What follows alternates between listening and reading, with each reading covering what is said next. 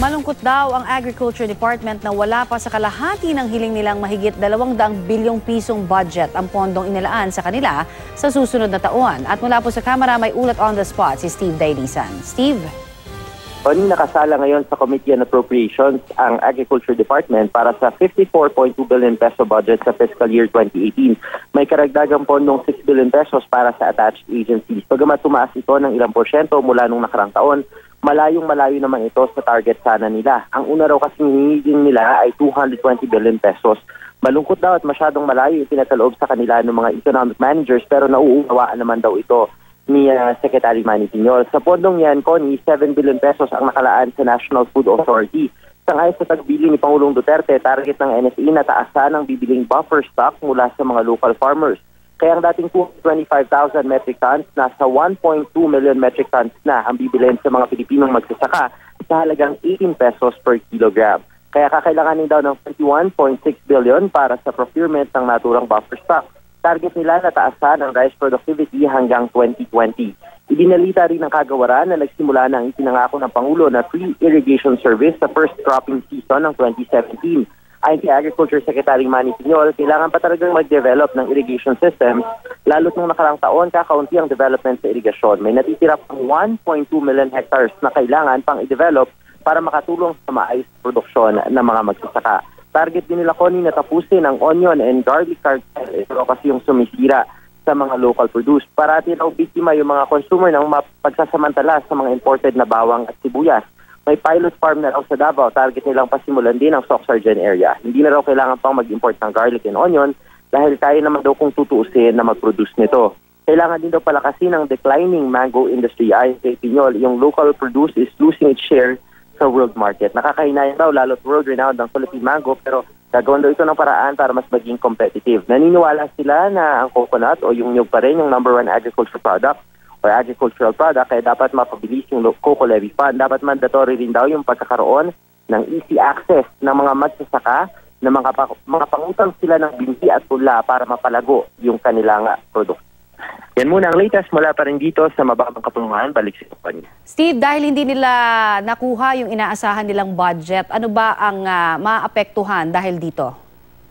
Ang uh, binabanggit sa atin, ano, may mga supposedly uh, proyekto sila tulad yung halimbawa, mas palakasin pa yung irrigation at syempre yung rice productivity natin. Pero ang uh, sinasabi nila, kailangan daw i-work out na lamang nila kung ano yung ibinigay sa kanila at uh, uh, sabi nila from there, eh, pinatiniyak naman ni Secretary Piñol na hindi naman din daw maapektuhan yung serbisyo ng uh, ah, DA doon sa mga magsasaka ko.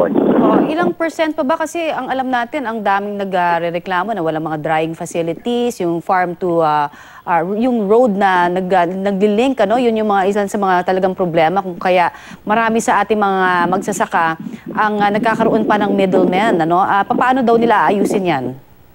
Tama, yan yung isa sa malaking problema pa rin ngayon, yung farm-to-market roads na tinatawag para at least sana mas mabilis yung uh, pagdadala ng mga produktong produkto ng mga magsasaka patungo dun sa merkado. Ang sabi nila ay uh, makipag-ugnayan din sila dun sa uh, Department of Public Works and Highways para mas maging uh, co- coordinated at cohesive ano yung implementation ng mga projects. Isa pa dun sa mga nakikitang problema nila Connie ay yung syempre yung mga peste na parating tumatama dun sa ating uh, mga sa produksyon kaya nga may malaking pondo rin na inilaan para naman dun sa mga uh, sa pesticides ano? Para raw mas dumami yung produksyon, mas maganda yung ani para dun sa mga magsasaka at in return ano?